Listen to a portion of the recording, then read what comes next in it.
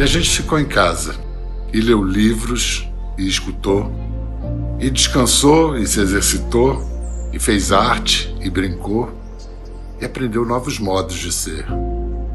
E parou. E escutou mais fundo. Alguém meditou, alguém rezou, alguém dançou, alguém encontrou sua sombra. E a gente começou a pensar diferente. E a gente sarou.